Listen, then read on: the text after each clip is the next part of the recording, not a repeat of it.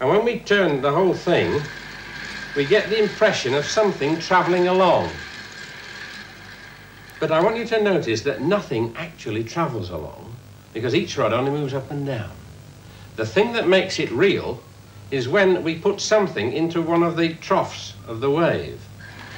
Then something real travels along, can make it go the other way.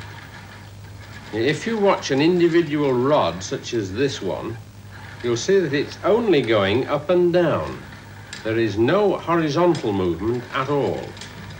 Only the ball is a real thing moving side to side.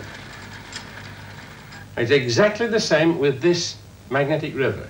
I can switch it on and there is nothing above there, nothing moving horizontally until I put in the aluminium. And it's like putting the ball into the rods.